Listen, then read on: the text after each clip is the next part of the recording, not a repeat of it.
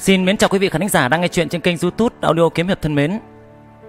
Mời quý vị và các bạn chúng ta cùng tiếp tục đến với tập 140 của bộ truyện dài tập Ngược về Minh Triều Tác giả Nguyệt Quan Qua giọng đọc thể hiện MC Khánh Duy. Trước khi nghe chuyện các bạn hãy bớt chút thời gian nhấp like, share và comment cảm xúc của mình sau khi nghe xong chuyện. Các bạn cũng có thể donate ủng hộ động viên cho Khánh Duy bằng các hình thức đã được ghi dưới phần mô tả. Mọi sự ủng hộ, quan tâm của quý vị Khánh Duy xin chân thành cảm ơn và bây giờ để không mất thời gian, mời quý vị và các bạn chúng ta hãy cùng tiếp tục lắng nghe, theo dõi những diễn biến tiếp theo của câu chuyện ngay sau đây.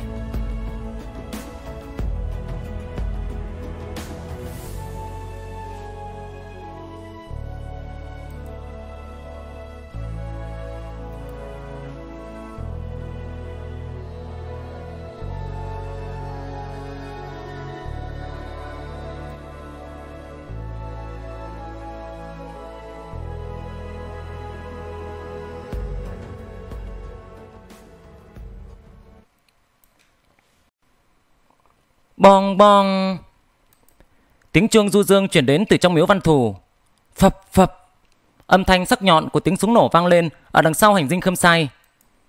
Từ sau vụ việc chiêu giác tự bị khống chế thì súng đã được phát huy tác dụng. Dương Lăng bất giác nhận thấy phải có biện pháp tự phòng thân và cần phải có thứ vũ khí lợi hại đấy. Bản thân hắn đã bỏ lỡ mất khoảng thời gian tốt nhất để mà luyện võ.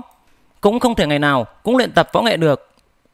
Tuy cho rằng Dương Lăng tập luyện là thứ nội công gia truyền thượng hạng mà nhiều người luyện võ hàng mơ ước khát khao có được, nhưng cũng chỉ là để dùng để tráng kiện sức khỏe, chiêu nghịch với mấy đứa trẻ con ở trong nhà mà thôi. Một khi thật sự phải đối phó với cao thủ thực sự, những kẻ có thể phá vỡ được vòng bảo vệ của đám thị vệ, thì thứ võ công của hắn vẫn còn kém rất xa. Tốt nhất là cứ nên tìm đường nhanh nhất mà đi.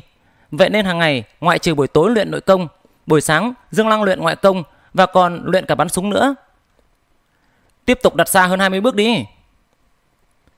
Lúc bấy giờ, Dương Lăng vừa lao đầu súng một cách chuyên nghiệp, nhanh nhẹn thêm thuốc súng, lên đạn, vừa hét lớn về phía đằng xa. Bọn thị vệ lại di chuyển chiếc ghế dài ra phía xa hơn một chút, đặt từng chum, từng chum rượu lên trên ghế. Dương Lăng mở khóa bảo hiểm, một bên bả vai khẽ dâng cao, ngắm chuẩn vị trí của chum rượu. Đại bổng trùy vội vàng đi tới, nhìn thấy Dương Lăng đang ngắm chuẩn, bèn nhanh nhẹn đứng qua một bên. Bùm! Tiếng súng nổ vang lên, những mảnh sứ vỡ văng tứ tung, miệng chum bị bắn nát thành nhiều mảnh. Tốt, bắn tốt lắm. À, đại soái, tính thành quận vương cầu kiến, ngài ấy đang đợi ở trong thư phòng kìa. Đại bổng trùy là người thẳng tính, tuy chứng kiến người ta su nịnh cũng nhiều, nhưng cũng biết lúc này nên khen ngợi một vài câu. Nhưng rõ ràng là có sự miễn cưỡng ở đây, vì ngay sau đấy là chuyển hướng sang câu chuyện chính một cách cứng nhắc. Ồ, tính thành quận vương sao? Dương Lăng giật mình ngây người, nghĩ ngợi một chút rồi đáp lại. Mau dừng trả đại khách, tiếp đón cho cẩn thận, ta sẽ ngay lập tức tới ngay.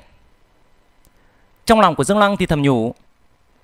Tĩnh Thanh quận vương đến tìm ta có việc gì đấy? Trừ phi đêm qua ta cùng với cẩm y vệ đi thăm nhị điện hạ. Lẽ nào đã bị lão ta phát hiện? Đến đây rồi, để giao uy với ta hay chăng? Không thể nào, những người trong đại lao hình ngục không nhận ra ta. Cẩm y vệ và nhị vương tử lại càng không thể nào nói ra chuyện này được. Cứ đi gặp lão ta rồi tính tiếp vậy. Đêm qua Dương Lăng đi thăm Chu Nhật Cận, Thứ nhất là để trọn vẹn cái nghĩa tình bạn, Thứ hai là nếu như đã muốn cứu gã ra ngoài Thì cũng phải gặp mặt đương sự Để thu thập nắm bắt thêm tình hình cụ thể. Nhưng Chu Nhật Cận ngoài việc nhất mực khẳng định Là mình bị oan ra Thì những thông tin có giá trị mà gã có thể cung cấp được quá hạn chế. Từ những tình tiết mà Dương Lăng nắm được từ chỗ Chu Nhật Cận, Muốn rửa tội thoát án cho gã Quả thật là rất khó nếu như đã là án vì ân oán tình cảm cá nhân mà ra tay sát hại tính mạng người khác thì nên điều tra xem xét cho thật kỹ hiện trường xảy ra vụ án. Thông qua những người thân cận với nạn nhân tìm hiểu về hành động và những người thường xuyên qua lại với những người bị hại, chưa biết chừng sẽ có những thu hoạch nhất định. Chỉ tiếc là với thân phận như của Dương Lăng thì quả thật không tiện tham gia vào việc điều tra phá án. Hắn chỉ đành có thể dặn dò Liễu Biêu âm thầm điều tra tất cả các vấn đề xung quanh về mối quan hệ giữa Chu Nhượng Cận và Chu Mộng Ly hy vọng có thể tìm thấy chứng cứ nào đấy có lợi cho gã ta. Khâm sai đại nhân là hắn đây chỉ có duy nhất một tác dụng trong vụ án này, đó chính là đảm bảo trước khi tìm được chứng cứ có giá trị để định tội, không để cho người khác tùy tiện phán án bừa bãi mà thôi. Quận vương cũng là vương, địa vị cao quý. Ngoại trừ việc tuyên chỉ và tự giới thiệu ra thì căn cứ theo quy tắc là không được nói chuyện trực tiếp với bách tính thường dân. Ngay cả khi là hai người đối mặt với nhau đi chăng nữa thì cũng buộc phải thông qua người thân cận bên cạnh để truyền đạt thông tin. Đó chính là quy tắc của hoàng thất. Dương Lăng không những là quan mà còn là cao quan, đương nhiên là không nằm trong lệ này. Nhưng đi gặp quận vương thì không thể mặc bộ trang phục luyện võ như thế này được. Hắn vội vàng trở về phòng thay quan phục, sau đấy tới thư phòng để đi gặp quận vương. Tĩnh thanh quận vương to cao vạm vỡ, mặt vuông tai lớn, mày rậm, mắt sâu là tướng mạo điển hình của họ Chu. Lão ta ngồi trên ghế, không động đến ly trà được bưng lên, hai mắt đờ đẫn. Dương Lăng vội vàng bước vào. Hắn không phải là đến thăm hỏi trao đổi công việc. Dương Lăng không thể hiện uy thế của một vị quan khâm sai, vội vàng hành lễ của một hạ quan. Hạ quan Dương Lăng, xin chào Tĩnh Thanh quận vương điện hạ. Ồ. Tĩnh Thanh quận vương lúc này mới giật mình tỉnh lại, bất ngờ đứng dậy chào, nét mặt vui vẻ đáp lại. À, Dương đại nhân, mau mau mời đứng dậy. Bổn vương sáng sớm đã mạo muội đến làm phiền rồi, thật là ngại, thật là ngại. Ồ, không có gì, không có gì đâu thưa ngài. Vương gia tới thăm quả nhiên là khiến cho tệ phủ được bừng sáng. Hạ quan sớm nay ngủ dậy, nghe thấy có tiếng chim khách kêu, quả nhiên... À, không hay vương gia đại giá Quang Lâm, có việc gì quan trọng chăng? Dương Lăng cố gắng nói những lời su nịnh, mới được một nửa thì cảm thấy muốn nói vô cùng, nên bèn vội vàng chuyển chủ đề, đi thẳng vào vấn đề chính luôn. Hai người bọn họ phân ghế chủ khách và cùng an tọa. Tính Thanh quận vương hai tay phủ lên đầu gối, trầm ngâm mà nói: Dương đại nhân, trong buổi tiệc của Thục Vương phủ hôm qua, tiểu nữ bị người ta sát hại. Bổn vương lòng đau như cắt. Bổn vương không có con trai, chỉ có hai người con gái. Đứa lớn thì đã cả chồng, trong nhà chỉ còn lại có mỗi mình Mộng Ly thôi. Nay phải chịu cảnh người đầu bạc tiễn kẻ đầu xanh, cái nỗi đau này... Ai...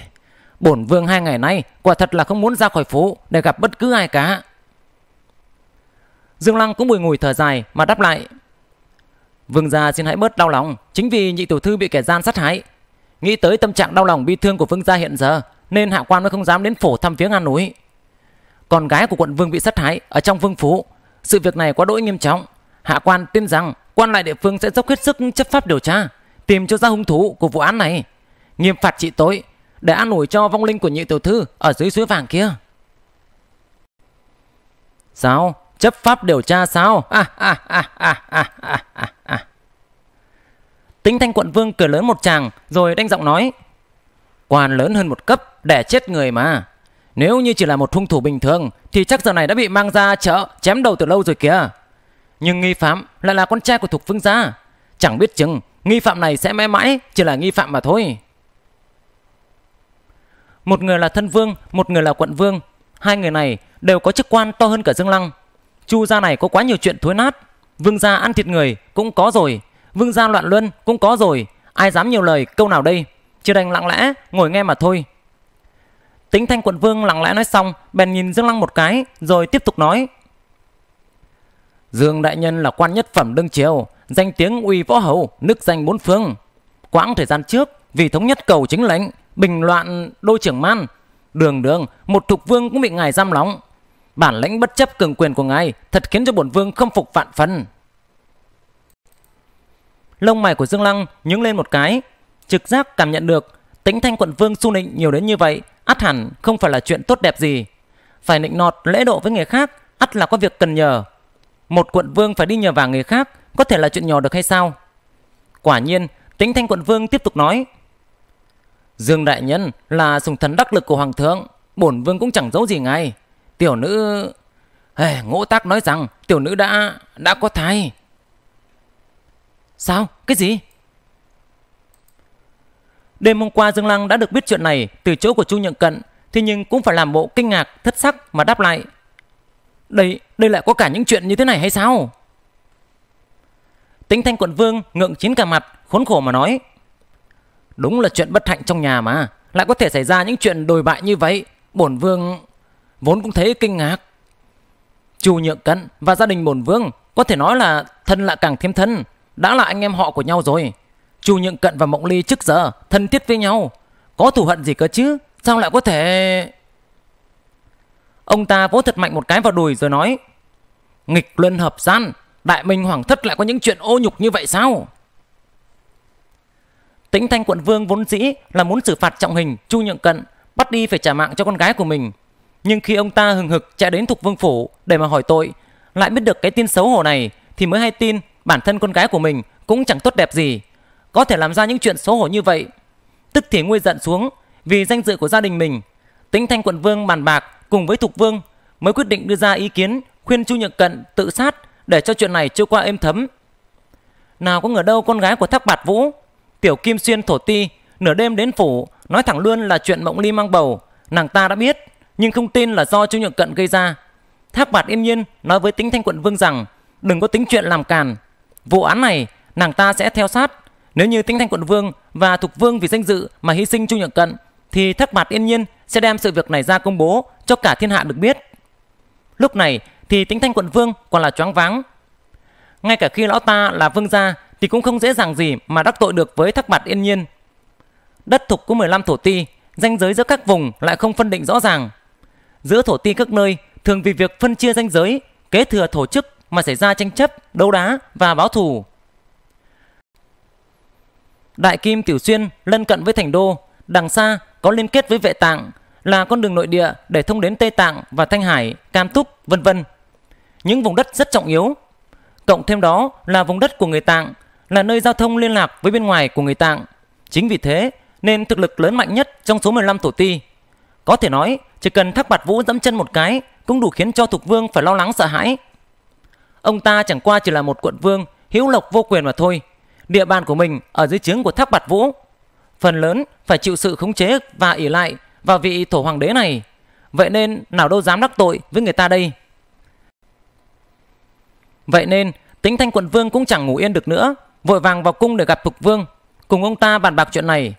Những chuyện ê mặt của hoàng thất như thế này thì đương nhiên là càng ít người biết càng tốt. Hơn nữa, càng là những người ở dưới thì lại càng không tiện cho bọn họ biết. Quan viên đất thục đều dưới sự cai trị của thục vương. Để cho đám thục hạ này giải quyết chuyện trong vương thất thì những kẻ biết chuyện chỉ có là càng ngày càng nhiều hơn. Đến lúc đấy, đám vương gia làm gì còn mặt mũi nào nữa đây? Thêm nữa là tính thanh quận vương cũng có tính toán riêng ở trong đó, nên bản thân lão ta cũng không còn nói năng cho có khí khái được nữa. Nếu như đám quan viên đều nể mặt thục vương mà lén lút che giấu, tìm cách để thoát tội cho Trung Nhượng Cận, thì con gái của lão ta chẳng phải là đã chết oan chết uổng rồi hay sao? Chính vì thế mà việc lựa chọn viên quan để điều tra vụ án trở nên vô cùng quan trọng. Nghĩ tới nghĩ lui, cuối cùng lão ta nhớ ra Dương Lăng, địa vị của hắn rất cao, vị trí đó tương đối là thích hợp, không phải ngại sự có mặt của Thục Vương.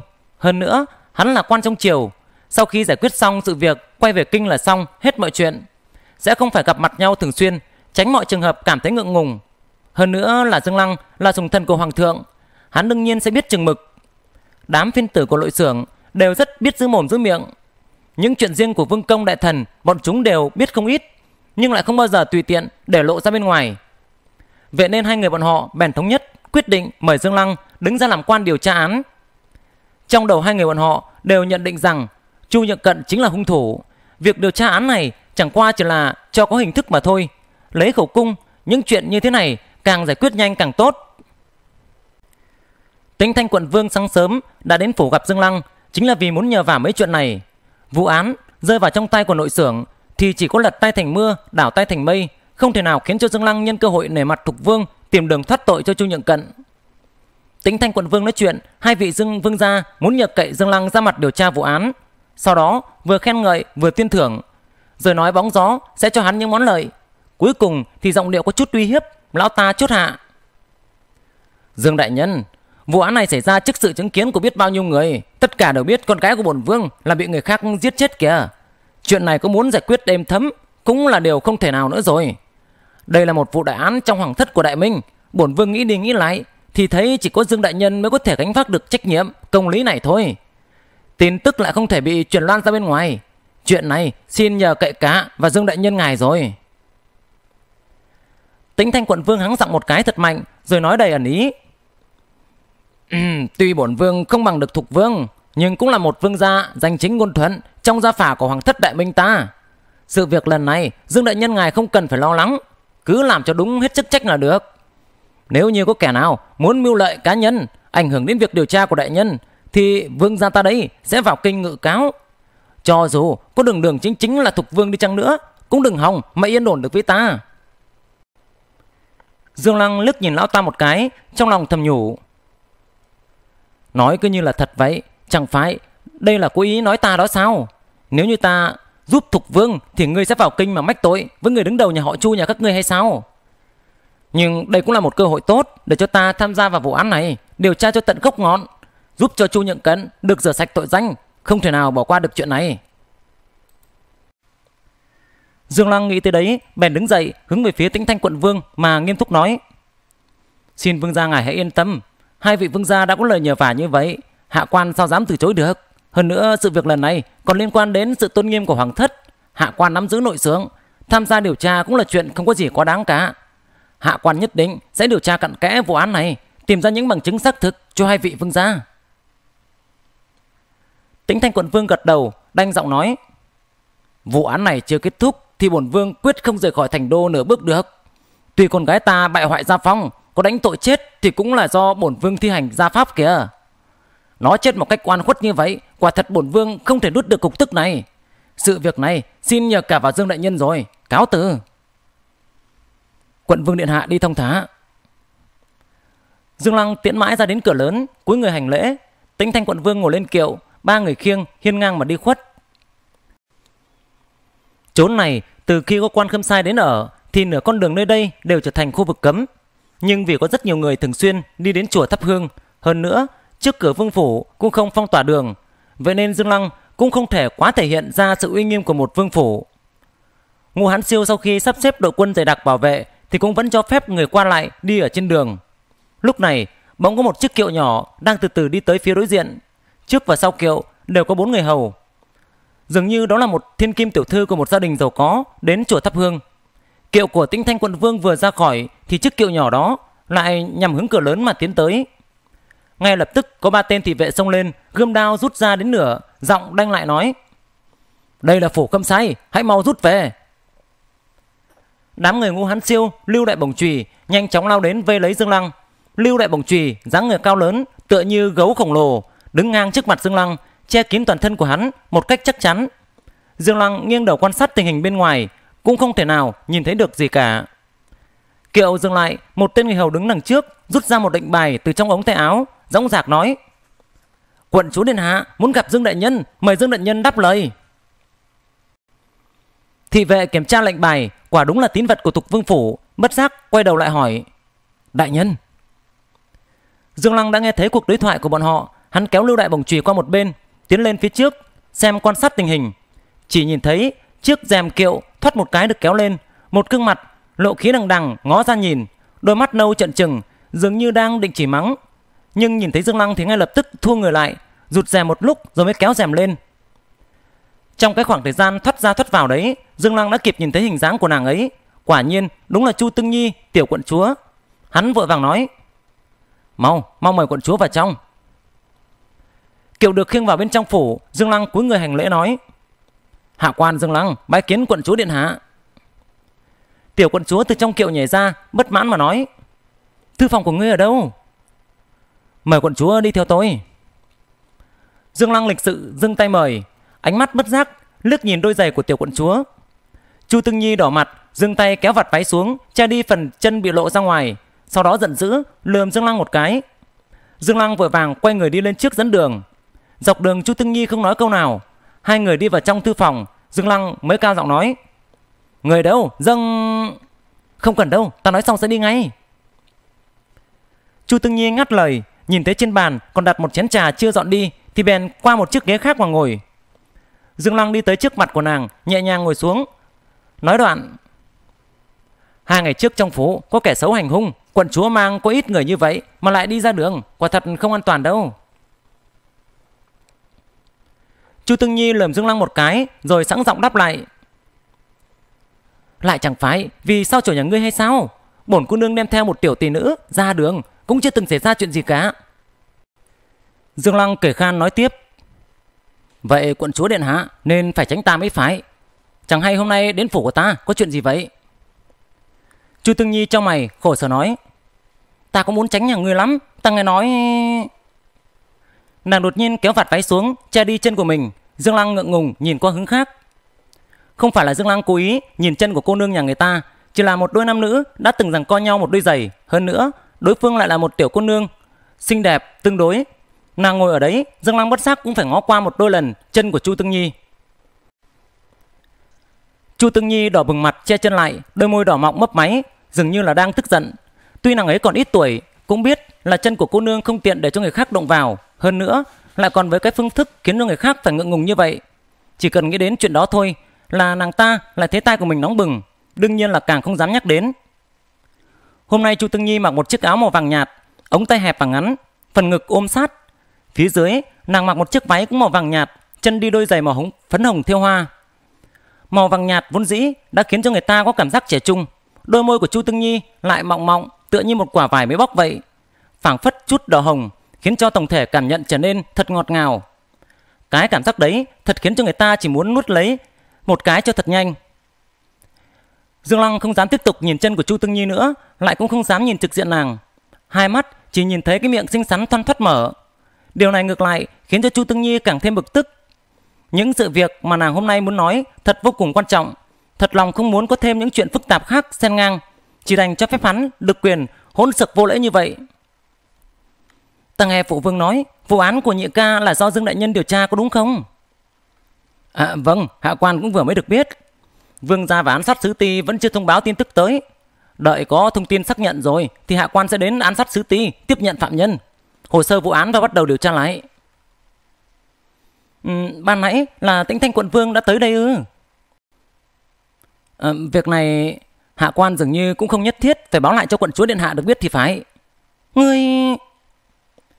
Chu Tương Nhi tức giận, đang định nổi đoá lên thì chợt nhớ ra bản thân mình có việc cần nhờ người khác nên đành kìm nén lại cơn tức giận.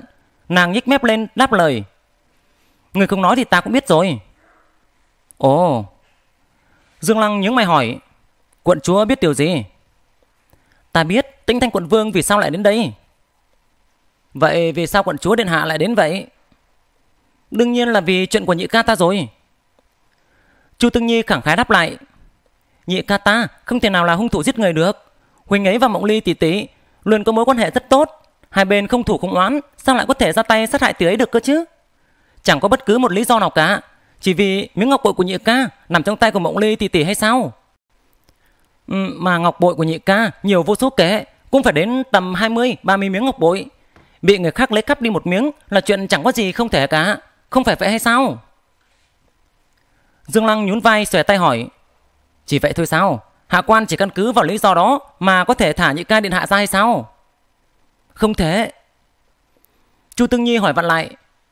Vậy người có thể lấy lý do đó để mà định tội cho nhị ca ta hay sao? Không thể. Chu Tương Nhi đắc ý cười một cái, Dương Lăng lại nói tiếp. Nhưng nếu cứ mãi không tìm được cho ra những nghi phạm khác thì chính chứng cứ duy nhất đó sẽ trở thành bằng chứng thép để buộc tội. Tới lúc đấy thì chẳng ai có thể cứu được nhị ca điện hạ của cô nữa đâu. Vậy, vậy phải làm sao bây giờ? Tiểu quận chúa hỏi lại một cách đáng thương, Dương Lăng nhẹ nhàng đáp lại. Hoặc là tìm cho ra tên hung thủ thứ hai, hoặc là tìm bằng chứng để chứng minh nhị điện hạ vô tội. Dương Lăng một mặt lơ đánh thở ơ, một mặt thì suy nghĩ. Xem ra, chuyện Chu Mộng Ly mang thai, Thục Vương quả nhiên là đã phong tỏa thông tin rồi. Ngay cả đến tiểu quận chúa cũng không hề hay biết. Chu Mộng Ly là một thiếu nữ khuê các yếu ớt, không thể nào mà dính lưu đến những sự việc nghiêm trọng gì gì đó được. Vụ án này dám chắc là vì chuyện tình cảm nam nữ, giết người diệt khẩu mà thôi. Chuyện tình của bọn họ chắc chắn sẽ phải để lại những dấu vết vết tích gì đó có thể điều tra ra được. Cứ bắt đầu từ điểm đấy thì thế nào cũng sẽ tìm ra được bằng chứng nào đó thôi. Chỉ cần sau khi nhận được thông tin chính thức từ Thục Vương thì ta sẽ ngay lập tức đi điều tra nơi ở và đám gia nhân của nạn nhân rồi nghi phạm. Giả thiết rằng Chu Nhượng Cận không phải là hung thủ thì Chu Nhượng Hữu và Đường Gia Sơn cũng có thể là hai nghi can có nghi vấn khá lớn. Nhưng nếu để nói trong ba người bọn họ, thì xét về tiếng tâm mà nói, thì quả thực Nhị Điện Hạ có tiếng là phong lưu nhất. Chính vì thế nên cũng là người khả nghi nhất kìa. Chu Tương Nhi không tin rằng nhị ca của mình lại giết người. Nghe phụ vương nói, đã ra vụ án này cho Dương Lăng điều tra, thì bèn vội vã mà đến đây.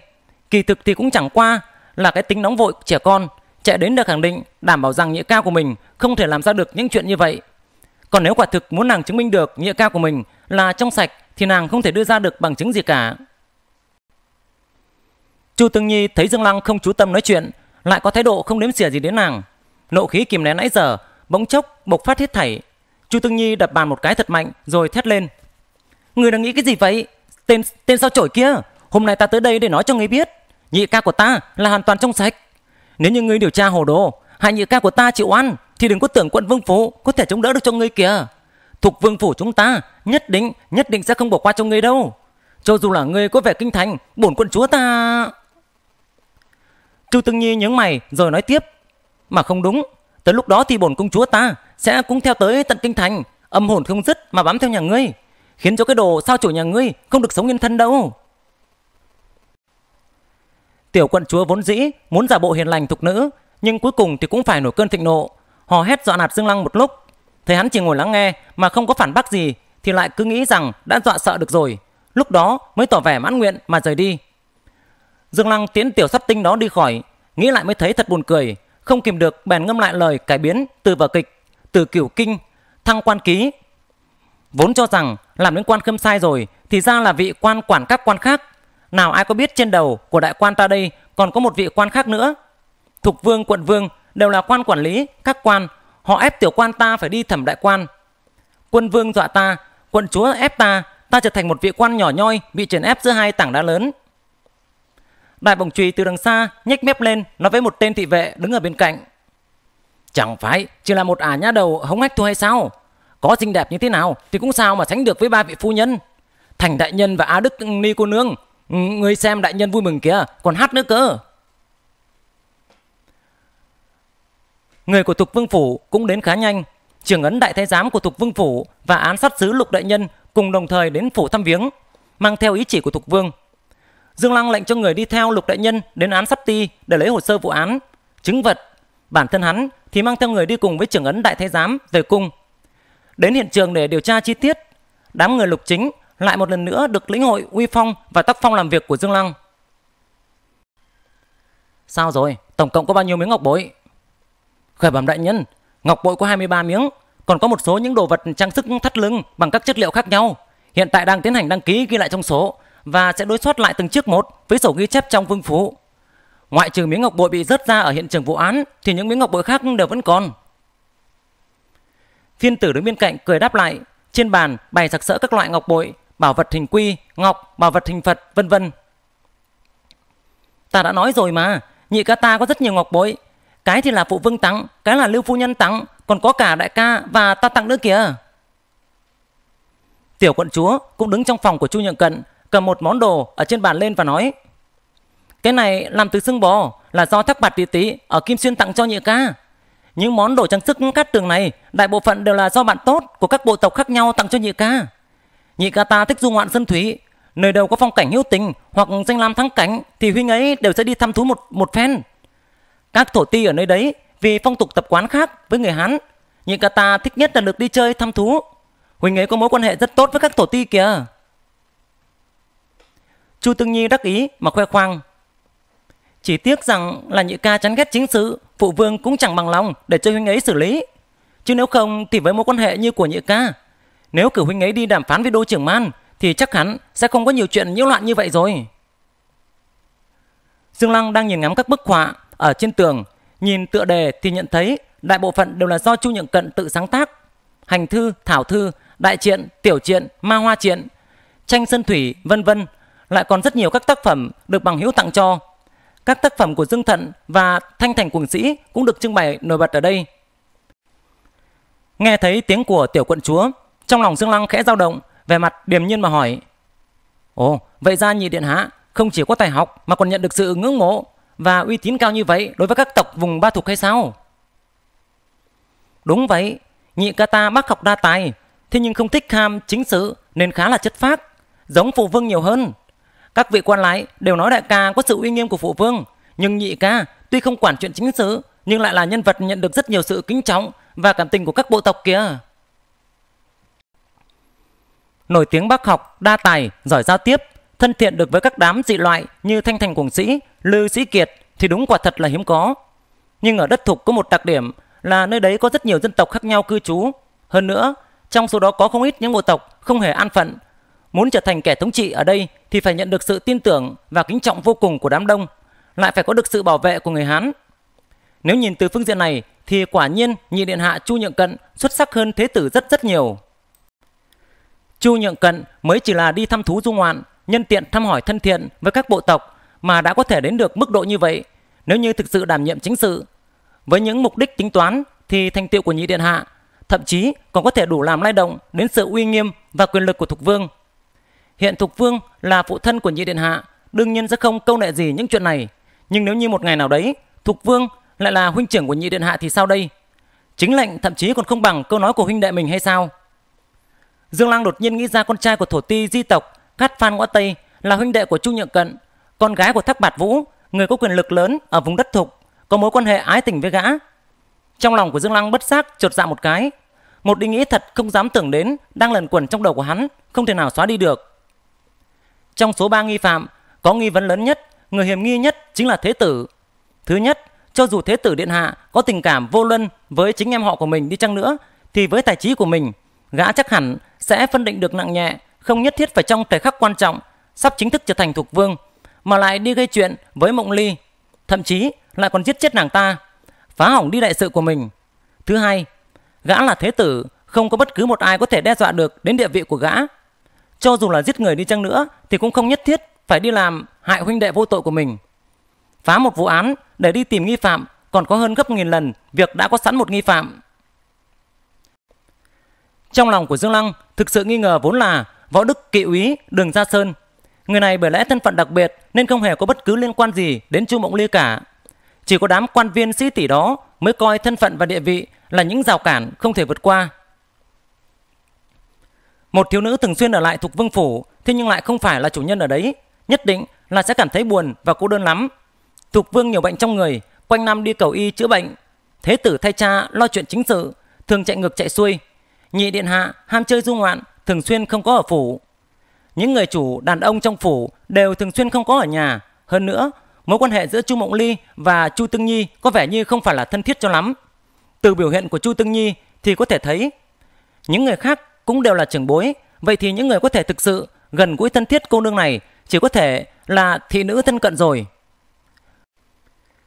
Nam nữ tuổi xuân đang trong thời kỳ tình cảm dễ đến, dễ nồng nhiệt. Từ những tình hình mà Dương Lăng nắm được thì đường kỵ úy này tướng mạo tuấn tú, võ nghệ tài cao, lại là trưởng thị vệ trong vương cung. Ban ngày đường kỵ úy thường xuyên đi tuần trong hậu cung, Chu Mộng Ly và gã có biết bao nhiêu những cơ hội có thể gặp được nhau. Một thiếu nữ mềm yếu, khuê các, nếu có tình cảm với một người đàn ông nào đấy thì nào đâu còn e ngại về thân phận và địa vị của người đó nữa đây. Nếu không thì tam ngôn lưỡng phách đã không ghi chép lại được nhiều những chuyện vụng trộm tình cảm như vậy. Nhưng Chu Tương Nhi vô ý nói ra một câu đã khiến cho Chu Nhượng Hủ, người mà Dương Lăng vốn đã bỏ qua, lại trở thành nghi phạm quan trọng nhất. Gia đình đế vương vô tình, Chu Nhượng Hủ từ sớm đã tiếp cận với chính sự. Sự đam mê quyền lực của đại điện hạ đương nhiên là vượt xa huynh đệ của mình. Nếu như người thực sự có quan hệ tình cảm vô luân với Chu Mộng Ly là đại điện hạ, hơn nữa cô nương đó lại vì chuyện tình cảm nam nữ không biết thời điểm quan trọng, trong đúng lúc mà đại điện hạ chuẩn bị đăng cơ thuộc vương, Chu Mộng Ly lại đến uy hiếp gã thì Chu Nhượng Hủ đã có động cơ giết người rồi. Nếu như bên cạnh mình lại có một đệ đệ mà ánh hào quang còn tỏa sáng cả chính bản thân mình hơn thì há chẳng phải Chu Nhượng Hủ sẽ tính đến chuyện một mũi tên trúng đích hai con chim hay sao? Chỉ cần sự việc thành công thì đại điện hạ có thể có được uy thế và quyền lực giống như của phụ vương. Đồng thời, những chứng ngại vật làm hại đến vị trí độc nhất vô nhị của gã ở ba thục cũng được trừ bỏ. Dương Lăng chìm sâu vào dòng suy nghĩ. Chu Mộng Ly mang thai, huynh đệ Chu Thị và Đường Gia Sơn đều thuộc vào diện tình nghi. Nhưng nếu như xét thêm về khía cạnh giết người, đổ tội thì Chu Nhượng Hủ đương nhiên có động cơ thực hiện hơn Đường Gia Sơn. Thế nhưng tuy bản thân mình tiếp cận với Chu Nhượng Hủ không nhiều, từ những gì mà quan sát được và những đánh giá của đám quan viên thì có thể thấy được vị đại điện hạ này không phải là một người ghen tị, người tài, thậm chí có thể làm ra những chuyện bê bối đến như vậy. Nếu như nói Chu Nhượng Hủ là đại gian nhược thiện, ý chỉ những người có vẻ ngoài càng gian xảo thì thực ra lại là người thiện tâm. Vậy thì sự tín nhiệm của bản thân mình với Chu Nhượng Cận cũng giảm đi không ít. Sao mà biết được vị nhị điện hạ đó có đang đóng kịch hay không? Còn nhớ khi gặp Thục Vương ở Thanh Dương Cung, biểu hiện của ba người con Thục Vương trước mặt phụ vương mình khác hoàn toàn với đời sống thực. Hiển nhiên rằng, dưới sự quản giáo nghiêm khắc của vương gia, ba vị điện hạ đều có chút làm bộ đóng kịch.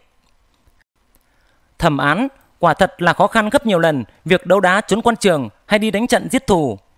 Những công việc kia chỉ tìm cách để đánh bại được đối thủ, còn hiện tại thì phải hao tâm khổ tứ để tìm cho ra đối thủ, thật là đau đầu. Đám quân lính của phiên tử khám xét mọi ngóc ngách nơi ở của Chu Nhượng Cận. Đối với đám người chuyên nghiệp đó thì không có vật nào thật sự có thể giấu giếm được. Nhưng nơi ở của Chu Nhượng Cận quả thật vô cùng đơn giản, ngoại trừ những thơ ca thi phú, cầm kỳ thư họa và mấy cái giá chất đầy sách ra thì gần như không thấy món đồ vật nào cả. Đại nhân, mời ngài xem.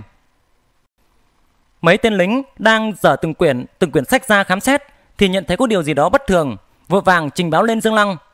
Hắn nhận lấy cuốn sách, còn chưa kịp mở ra xem thì một cái đầu đã ngó vào nhìn chằm chằm cuốn sách dày cộp trên tay. Chu Tương Nhi nhìn một hồi thật lâu, trên bìa cuốn sách in ba chữ lớn nhạc thiện tập.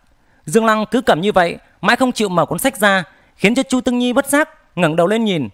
Đúng lúc đấy, thấy ánh mắt của Dương Lăng đang nhìn mình chằm chằm, nàng bất giác tức giận mà quát lên. To gan, vô lễ, ngươi nhìn ta làm gì? Dương Lăng hắng giọng, chậm rãi đáp lại. quận chúa điện hạ, hạ quan tới đây là để khám xét nơi ở quận nhị điện hạ. Phiền người tới đây là để giám sát quá trình khám xét. Nhớ không may đến lúc bị thiếu, bị mất thứ gì đó, thì quả thật là không biết nên nói như thế nào cho minh bạch được đấy. Thế nhưng nếu tìm thấy được vật chứng gì đó đáng nghi, thì cái này người là em gái của nghi phạm e là tiểu cô nương cầm mặt vênh lên trời, quay người một cái, ưỡn ngực xài bước đi ra ngoài. Dương lăng mỉm cười một cái, lúc này mới bắt đầu mở sách ra xem. Đột nhiên phát hiện ra bên trong là hoàn toàn rỗng không. Bốn bề được dính keo lại. Đó lại là một chiếc hộp đựng đồ, bên trong có một vài bức thư. Dương lăng vội vàng quay người, để chiếc hộp lên trên bàn dùng thân người che đi hướng nhìn của tiểu quận chúa, lấy thư ra khỏi hộp và đọc. Bức thư đầu tiên có nét chữ nguệch ngoạc, nội dung hình như là muốn nói đến tù trưởng của một bộ tộc nào đấy, lân cận, vì muốn cướp thôn và người của chủ nhân bức thư, nên hai bên đã xảy ra tranh chấp, khiến cho người của bên gã bị thương không ít. Chu nhượng cận đi ngang qua thấy vậy, bèn tìm cách hòa giải, tháo gỡ, khiến cho gã giảm bớt được tổn thất. Hy vọng nhị điện hạ có thời gian thì đến chỗ gã chơi vài hôm. Lại nhắc đến chuyện một tù trưởng của tộc khác là họ hàng của một thủ lĩnh thổ ti nào đấy. Hy vọng nhị điện hạ có thể giúp cho bộ tộc của chủ nhân bức thư nói giúp với người nào đó vài lời. Đọc mãi đến đoạn cuối thì đó là thủ lĩnh của tiểu bộ lạc miêu tộc ở bảo ninh. Và phát sinh tranh chấp, đấu đá với gã cũng là một bộ lạc khác ở trong nội bộ. Đọc hai bức thư đều là những thư từ của chu nhượng cận và đám bằng hữu. Đến những bức thư được buộc riêng bằng sợi dây tơ, dương lăng lật qua xem nhanh, chữ viết thanh tú là nét chữ của nữ nhi hơn nữa rõ ràng là bút tích của cùng một người. Dương lăng tự nhiên bắt được vàng, vội vàng mở một bức thư ra xem. Quả nhiên, đó là thư tình nam nữ. Chống ngực đánh thình thịch, ánh mắt của hắn hướng về phía cuối bức thư, nơi có thể giải đáp được các bí mật thì phát hiện ra. Để chống, những phần cuối thư hoàn toàn đã để chống. Dương lăng vội vàng mở xem tiếp một vài bức thư nữa. Phần cuối thư đều để chống. Hắn lại gói lại cẩn thận, mang về phủ của mình nghiên cứu cho kỹ lưỡng phải tìm ra cho thân phận của người phụ nữ này, hy vọng không phải là nàng ấy. Dương lăng đóng chiếc hộp lại, đưa ánh mắt ra hiệu cho đám lính cầm đi, rồi quay người đi về phía chu tương nhi. Hắn cười nói, quận chúa tài hạ đã kiểm tra toàn bộ đồ vật ở đây rồi. Ngoại trừ cuốn sách này phải mang đi. Những thứ khác để nguyên chỗ cũ. Chúng ta cùng đi đến chỗ nơi ở của mộng ly cô nương để khám xét tiếp xem. Ánh mắt của dương lăng lướt nhanh, nhìn thấy bức tranh treo trên tường. Bức tranh vẽ ba đứa trẻ đang câu cá bên bờ sông một thiếu niên đội nón lá vành trúc đang ngồi trên tảng đá, nhìn chăm chú mặt nước thượng du. Một đoạn dây câu thả xuống nước, cách đó vài bước, dưới tảng đá bên cạnh con sông, một thiếu niên khác có vẻ lớn tuổi hơn. Người ban nãy đang bắt một con cá lớn, bỏ vào trong giỏ. Gương mặt hướng về phía chàng thiếu niên ngồi trên phiến đá, như cười nói điều gì đấy. Người thứ ba là một bé gái béo tròn, làm rơi cần câu xuống sông, nhưng lại hồn nhiên chạy đến bụi cỏ để bắt bướm. Nét vẽ tuy đơn giản, nhưng lại chăn chứa sự trong sáng của trẻ thơ ba đứa trẻ, ba thần thái, hành động khác nhau, cùng với cảnh vật của sông nước, cây cỏ đều được vẽ lại rất sống động. Dương lăng nhìn thấy bé gái với cái ống quần được vén lên để lộ ra cái chân ngắn nhỏ, mũm mĩm, đang mừng rỡ đuổi theo bắt những con bướm ở đằng trước. Lại qua ra nhìn hai thiếu niên kia, bất giác nhớ tới câu chuyện, mèo con câu cá. Hắn vụt miệng mà cười nói, một người câu được cá, một người đang câu cá. Nhưng xem ra thì vẫn là cái cô bé ham chơi kia là đáng yêu nhất mà chu tương nhi nghe thế vậy quay đầu lại liếc xéo dương lăng một cái kiêu ngạo nói ta ham chơi cái gì chứ lẽ nào câu cá cũng được coi là công việc nghiêm túc hay sao Ồ, bức tranh này... Dương Lăng nhìn đi nhìn lại, đột nhiên tỉnh hiểu ra. Hắn hỏi tiếp. Bức tranh này là vẽ đại điện hạ, như điện hạ và quận chúa hay sao? Hắn nhìn lại một lần nữa, thấy ở bên cạnh bức tranh có một bài thơ. Dục tể vô chu tiếp, đoan cử sĩ thánh minh, tọa quan thủy điếu giả, đồ hữu tiện ngư tình. Bức tranh và bài thơ không có phần tương thích với nhau, thế nhưng bức tranh này quả là đã rất cũ, có lẽ là tác phẩm thời còn nhỏ của bọn họ. Còn nhỏ như vậy mà đã có thể dùng thơ để phối cùng tranh đã là quá giỏi. Càng lạ hơn ở chỗ là bức tranh này có đến bốn bút tích khác nhau. Dương Lăng chăm chú nhìn một hồi thật lâu, thắc mắc liền hỏi. Bài thơ này là do người nào đã viết vào vậy? Sao lại thấy có bút tích của bốn người vậy? Chu Tương Nhi hiển nhiên là vô cùng thích bức tranh này, khó lắm mới thấy nàng cười một cái với Dương Lăng. Nàng đáp lại: "Tranh là do nhị ca ta vẽ, bài thơ là do ba huynh muội chúng ta cùng với nhị ca ta mô phỏng lại bút tích của phụ vương mà viết lên." Hay, hay lắm. Dương Lăng khen ngợi rồi nói tiếp: Hai câu đầu nét chữ ngay ngắn nghiêm chính, ắt hẳn là của Thục Vương gia và Đại điện hạ. Thế nhưng câu thứ ba, nhị điện hạ có thể mô phỏng được nét chữ của người khác mà bút tích của bản thân mình thì sao lại xấu như vậy? Ồ, lúc đó còn chưa định hình, xem ra thư pháp hiện nay của nhị điện hạ. Chu Tương Nhi không cười nữa, từng lời từng chữ đáp lại một cách đanh thép. Câu đầu tiên là mô phỏng bút tích của phụ vương ta. Câu thứ hai là đại ca ta viết. Câu thứ ba là ta. Câu cuối cùng mới là bút tích của nhị ca ta. Chu Tương Nhi vung tay áo một cái rồi bực bội đi ra cửa. Lúc này mới hàn học ngoảnh đầu nói tiếp. Dương đại nhân pháp nhãn, lúc đó ta mới có 4 tuổi rưỡi thôi. Bút tích có thể đẹp được đến đâu đây? Dương Lăng gặp phải cục đá cứng đầu, nhìn thấy đám phiên tử đang cúi đầu cố nhịn cười, ngay cả đến đám thị nữ đứng hầu ở góc tường cũng một bộ dạng muốn phì cười, hắn bèn nghiêm giọng mà ra lệnh. Được rồi, được rồi, cất đồ đạc vào nguyên vị trí đi. Đến nơi ở của Mộng Lê cô nương, khám xét, nhanh chóng thu dọn. Dương Lăng bước tới cửa, trong lòng đột nhiên có chút ẩn chắc khó chịu, quay đầu nhìn lại, bức tranh đấy, những gương mặt ngây thơ trong trẻo đang hồn nhiên câu cá bắt bướm, tận hưởng tháng ngày hạnh phúc. Nhưng đồng thời, hắn cũng có cảm giác có điều gì đó không ổn mà không nói được lên lời. Nếu đúng thật là thế tử làm hại nhị điện hạ thì... Dương Lăng khẽ thở dài một tiếng. À, nhìn bọn họ lúc còn nhỏ, không có khoảng cách nào, không có toan tính gì cả, chỉ có tình tương thân ái mà thôi. Con người chỉ cần trưởng thành rồi thì sẽ bị nhuốm màu của danh vọng, quyền lực tiền tài, địa vị sẽ trở nên thuần túc. Nếu những suy đoán của ta mà là thật thì khi Chu Nhượng Cận ra khỏi ngục nhìn thấy bức tranh này, nhớ lại tình thủ túc huynh đệ những ngày thơ bé thì thật không hiểu tâm trạng lúc bấy giờ sẽ như thế nào đây. Mà ta đã cưới đến ba bà vợ rồi nhưng vẫn không hiểu tại sao phụ nữ lại có quá nhiều những đồ vật rườm rà cổ quái của phụ nữ để làm cái gì đấy. Dương Lăng nhìn theo những thứ đồ vật kỳ lạ mà đám quân lính đang không ngừng lôi ra. Tiểu quận chúa đỏ ửng cả mặt, thi thoảng lại giật lấy những món đồ từ tay của đám phiên tử mà nhét vào chỗ cũ, lại còn chỉ thầm bọn chúng vài câu, khiến cho đám phiên tử lóng ngóng lúng túng. Vậy nên, nếu có lỡ lôi được vật gì nhạy cảm thì chẳng chờ để cho người khác nhìn thấy, bèn ngay lập tức đặt về chỗ cũ. Nào là phấn trang điểm, bút lông mày đều được lôi hết ra. Các đồ vật ở bàn trang điểm là phức tạp nhất, có rất nhiều thứ, đồ mang ra thì sợ làm vỡ nó, rồi lại phải lôi ra xem đi xem lại. Chính vì thế nên tất cả các nơi khác đã khám xét xong mà chỗ này vẫn còn chưa xong. Nơi đây xét cho cùng không phải là nhà của những phạm quan mà bọn chúng vẫn đến lục lọi thông thường, có thể không e ngại gì cả. Nhìn thấy hết mọi người đang chờ mình, tên phiên tử đó lại càng vội vàng nhưng cũng không dám mới tìm lung tung, cố gắng lắm mới có thể khám xét mọi ngóc ngách cho cặn kẽ. Tới cuối cùng thì phát hiện ra một cuốn sổ ở trong số vật phẩm cá nhân của phụ nữ ở ngăn cuối cùng. Tên phiên tử đấy không dám tự ý mở ra mà vội vàng mang đến cho Dương Lăng xem. Dương Lăng mở ra xem, bên trong đó có ghi lại một vài câu thơ, bài phú ngắn, lại còn có cả một số những đoạn văn ngắn, vụn vặt, tựa như là một quyển nhật ký vậy. Dương Lăng mừng rỡ như bắt được vàng, vội vàng kêu người mang cuốn sổ đó về ngay trước mặt của Chu Tương Nhi. Còn những đồ vật khác thì quả thật không thấy có điều gì khác lạ, nên đều lệnh mang trở về chỗ cũ. Đêm nay xem ra phải nghiên cứu những đồ vật này một cách cẩn thận mới được.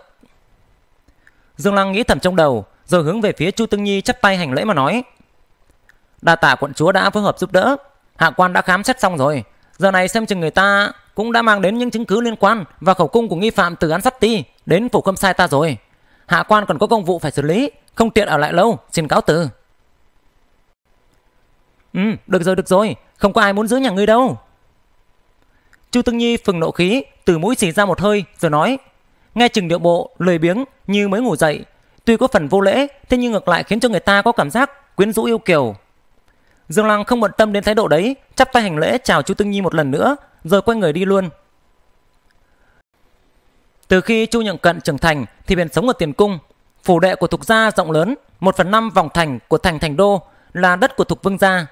Đi một vòng thôi cũng mất cả đến nửa ngày, nhưng Chu Nhượng Cận ưa thích giao lưu bằng hữu nên không ở trong phòng ốc lầu cao của mình mà lại ở trong một căn lầu chuyên tiếp đãi khách khứa đến ở.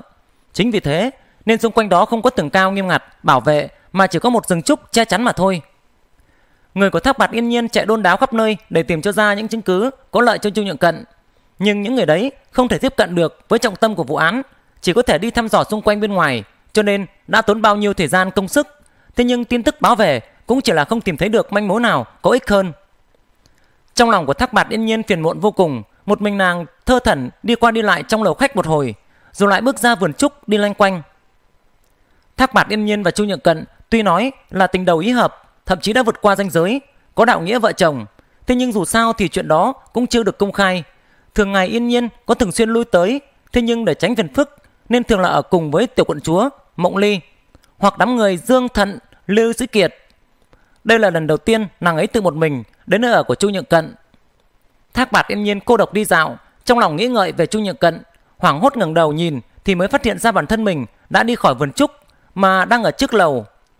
Lầu vẫn còn đây mà người đã đâu rồi, tới đây để nhìn ngắm thứ gì đây? Thác Bạt yên nhiên phủi áo, thở dài một cái, đang định quay người đi thì đột nhiên nhìn thấy bốn thị tỷ tay cầm chổi bước từ bên trong lầu ra. Chẳng phải lão già thuộc vương hồ đồ đó định giết con trai để giữ thể diện mà vẫn còn nhớ đến phải quét dọn chỗ ở của Chu Nhượng Cận hay sao? Không phải là chàng vẫn còn chưa chết mà lão ta đã định sử dụng căn lầu này vào mục đích khác rồi chăng? Thác Bạt yên nhiên tức giận trong lòng, nghiêm giọng hỏi bốn tỷ nữ đang đi tới gần. Đứng lại, giờ là lúc nào mà còn nghĩ đến việc dọn dẹp phòng ốc vậy? Bốn tỷ nữ đều nhận ra vị công chúa man tộc này, đồng thời cũng biết ngay đến cả Thục Vương còn phải nể cô ta vài phần, bèn vội vàng cung kính mà đáp lại. Hồi bẩm cô nương, ban nãy khâm sai đại nhân có cho người đến đây khám xét, đám phiên tử trên tay vụng về, bới lộn lung tung cả đồ đạc lên, nên đại tổng quán mới lệnh cho đám nô tỳ đến đây dọn dẹp. Dương khâm sai sao? Là Dương Lắng, hắn đến đây khám xét gì chứ? Thác bạt yên nhiên kinh ngạc hỏi.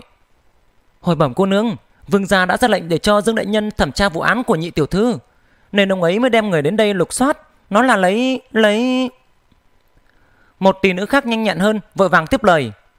Nó là đến lấy vật chứng. Hừm, hắn lấy vật chứng gì chứ? Cháu gậy cần nhà. Thác mặt yên nhiên cười khẩy một cái phủi tay áo quay người đi luôn. Hai bắt đảo quanh đột nhiên dừng chân lại. Vụ án đã giao lại cho khâm sai đại nhân thụ lý điều tra rồi sao? Xem ra những gì ta nói đã có tác dụng. Hai tên vương gia hồ đồ đấy không dám động đến nhượng cận nữa cũng không muốn để cho thuộc hạ dưới trướng của mình biết được nhiều chuyện xấu của gia đình nên mới sắp xếp để cho người ngoài điều tra tuy thác bạt yên nhiên tinh khí thất thường thế nhưng cũng có lúc vô cùng biết lý lẽ. Cá tính kiêu ngạo ương bướng, nhưng đầu óc lại vô cùng tỉnh táo, ngay lập tức phán đoán được dụng ý của Thục Vương và tính thanh quận Vương. Nhượng Cận từng nói rằng cái tên họ Dương này là bạn tốt của chàng ấy. Mỗi lần nhắc đến tên họ Dương này thì Nhượng Cận đều tỏ vẻ rất ngưỡng mộ. Có thể khiến cho chàng ấy khâm phục như vậy thì chắc tên đó cũng không đến nỗi quá ngu dốt đâu. Chưa biết chừng quả thật có thể giúp cho Nhượng cấn, có thể rửa sạch được tội danh. Thác Bạt yên nhiên quay người lại lên tiếng hỏi Tên họ Dương, à Dương Đại Nhân đã tìm được vật chứng gì rồi? Đám nô tỳ nhìn thấy yên nhiên quay người đi thì vừa mới thở phào được một cái nhìn thấy nàng ấy lại bất ngờ quay trở lại thì vội vàng cẩn trọng đáp lời đám nô tỳ chỉ dám đứng bên góc tường để chờ lệnh hầu há không được nhìn rõ đó là vật gì chỉ biết rằng sau cùng thì đại nhân tìm thấy một chiếc hộp ở trên giá sách dường như có mấy bức thư ở trong đấy dương đại nhân xem một lúc rồi toàn bộ đều mang đi rồi thư trừ phi là thư của ta và nhượng cấn Tất cả thư tên họ Dương đều mang đi rồi sao? Thác bạt yên nhiên thẹn thùng, gương mặt đỏ bừng lên. Yên nhiên định chạy đuổi theo, nhưng đột nhiên cảm thấy làm vậy là không ổn.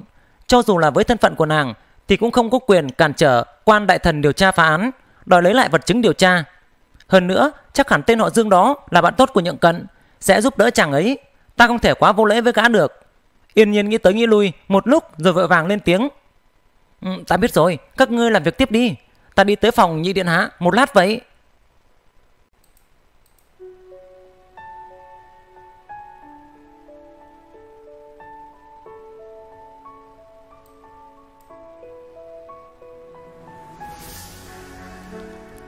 Kính thưa quý vị khán giả thân mến, tập 140 của chúng ta tạm thời kết thúc tại đây. Chúc quý vị nghe chuyện vui vẻ. Xin chào và hẹn gặp lại.